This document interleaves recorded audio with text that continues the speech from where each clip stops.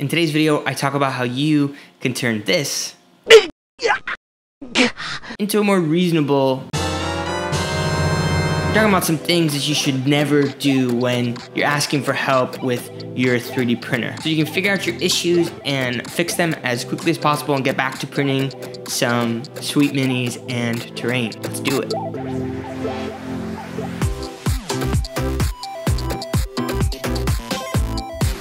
Hey there, I'm Danny, the 3D Printing DM, and welcome to 3D Printed Tabletop, a channel where we cover all things 3D printing for your tabletop games. Our Facebook community, the Tabletop 3D Printing Guild, just hit 10,000 members, which is really cool and exciting. As a result, we've just started doing these weekly threads, and one of those threads is Trouble Tuesdays. And it's a weekly thread that we made so that people who have troubleshooting questions can post them because as the guild has gotten bigger, troubleshooting requests have also gone up quite a bit. And I'm not making this video because of that. I'm making this video because I remember very clearly what it was like to be new. In case you don't know my story, I spent about a month trying to get a single print out of my CR10. And when I did finally get it,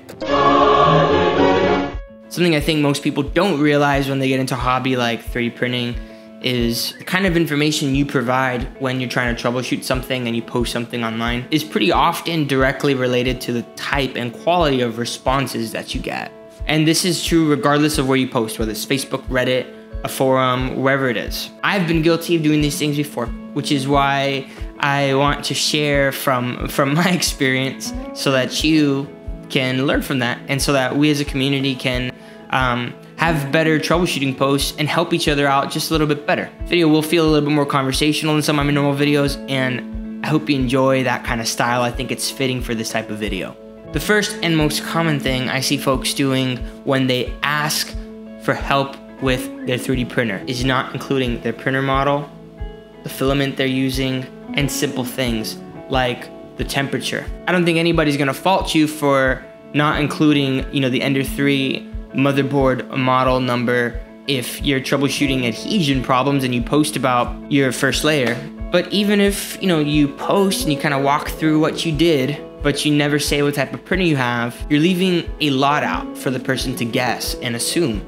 And there's just frankly so much that you can tell just by saying running a stock Ender 3, I'm running XYZ filament, and I'm running PLA at 205 or whatever you're saying. Because for the most part, you look at that and say, that's normal. But if you have anything that's off, this is like such a quick fix that most people recognize. In my opinion, the absolute minimum level of detail for your hardware per se that you need to share is what printer you're using, what type of filament you're using, is it PLA? Is it PETG? Is it ABS? Is it TPU? Is it something else? How hot you're printing and how hot your bed is if you have a heated bed. Second thing you shouldn't do when asking for help troubleshooting your 3D printer is not including at least one clear picture of what's going on. This might seem obvious, but you'd be surprised how many people post this elaborate story with no picture.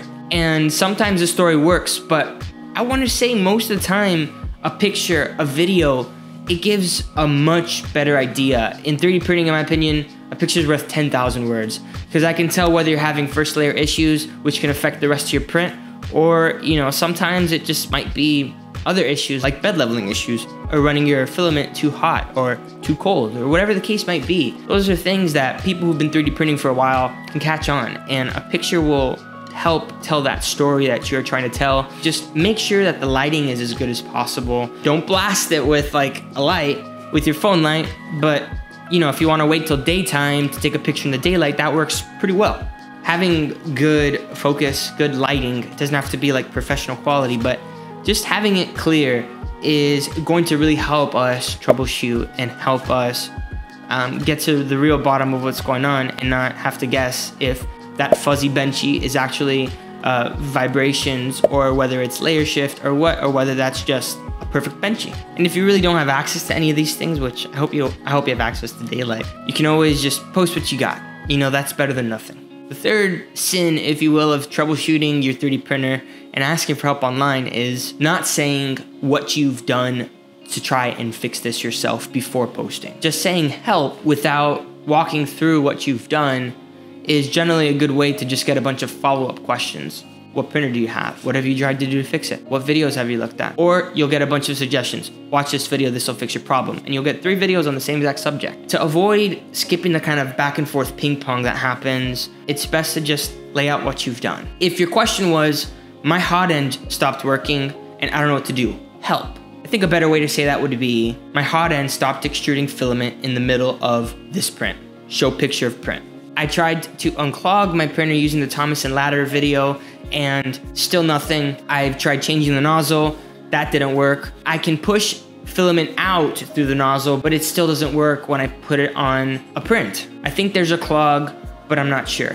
What do you guys think is wrong? That is long, but so much better for somebody trying to read this and say, how can I help internet stranger Danny or whatever, whoever it is, so they can get printing again. Also, you might get a response saying, you know, your limit switch might have uh, fallen out by mistake.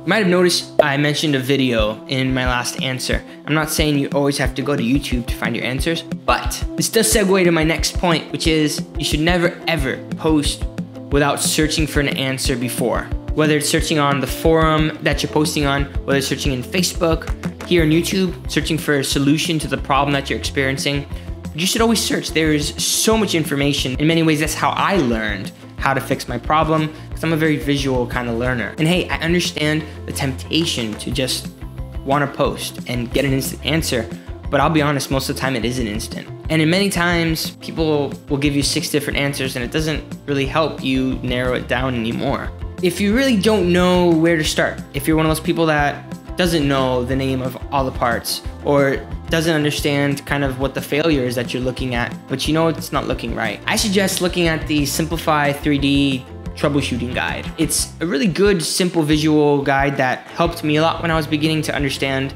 oh, I'm looking at delamination or I'm looking at you know, adhesion problems or whatever the case might be. That's a great place to start. Really though, the reason I suggest this is because you very well may find your answer in those threads, not even have to post in the first place. And trust me, if you post something and you're really not getting the type of response that you want, it can be super frustrating. So there you go.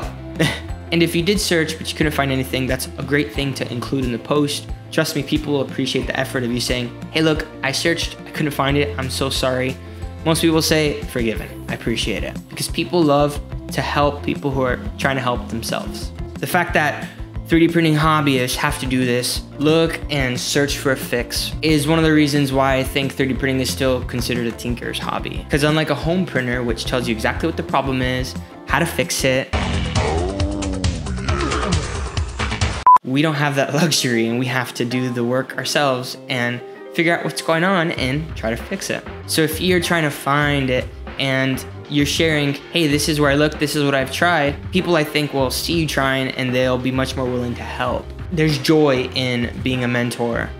There's not nearly as much joy in being a crutch, which is a perfect segue for the next thing you should never do when you're asking for 3D printing troubleshooting help, which is get all this help and never say what happened or what came of it. Never say how you fixed it any of the fixes worked. If you're even still alive, are you alive? I hope. Probably this is the sin, if you will, that I am most guilty of breaking. But it's probably the most important one because what's gonna happen is somebody's gonna find your thread where you said, hey, that fix that you told me for the bed level worked so well, the springs made the difference somebody's gonna come back and see that like six months later and they're gonna and this happens to me happens to other people in the guild even. They'll post in an old thread and revive it and it'll say dude this worked for me. Thank you so much. And at that moment you're just like oh you know it made the difference. And that's right you're gonna make a difference in other people's lives without even proactively posting because you're making something for the future right? And this is obviously best with like forums that are um, generally a little bit easier to search and things like that. But I think most people congregate towards Facebook and Reddit these days, and those have search functions which generally work pretty well too. At least uh, in my experience when looking for issues like this. Now, the last thing you should never do when you're asking for help troubleshooting your 3D printer online is to give up. Now, when I was new, broke nozzles multiple times, scratched my bed, used the wrong voltage thermistor when changing out the cartridge.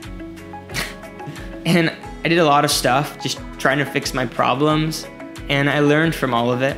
And so many people helped me throughout that process of learning, and so many people still help me all the time. I learned so much from other people in the community because I am by no means the person with all the answers. None of us are, really. There's no perfect way to do things in this hobby. This is real talk, and I've had several of these kind of periods where I felt like all my printers just weren't working, my fixes weren't fixing anything. And what I did was I took a break. I took a break from my printer. I let them sit. I didn't worry about what I was going to be printing. I didn't worry about the time that I was wasting by not printing anything. And even with the YouTube channel, this made the difference even if that fix was really like a 30 minute or one hour fix. It helped me to kind of get away from the problem, to do some painting, to work on my D&D campaign for my group, to do other things besides 3D printing and take a breather from the hobby that was frustrating me, right?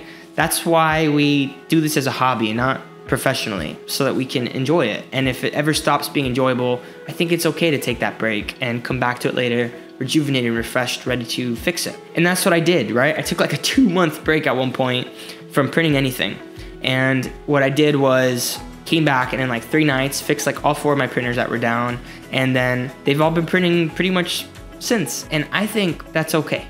I've been happier that way. And think a lot of other people who worry so much about like the efficiency and the productivity would do well to just remember that these things happen in this hobby and this journey is full of these really really high highs like printing such cool stuff and seeing the end results and some really low lows like you know having a 30 hour print going and then on the 20th hour you get layer shift that ruins your print that you can't fix. You know all these things have happened to me and i know they've happened to some of you and they will happen to some of you and this is just part of the journey of 3d printing but it's just really incredible to be on that journey and see things pop up out of nowhere my opinion at least. So that's my list. What are some things you think should or should not be included when people are posting asking for help to fix their printers? Looking forward to reading all your answers, and I'm sure other people who are new will be looking forward to it as well. If you enjoyed this video, I'd appreciate a like. And if you do like this type of content, subscribe. Love to have you here every week. If you want to support the channel, the best way to do so is to visit our shop below, pick up some cool models for your own table. Thanks again for watching, happy printing, and happy gaming.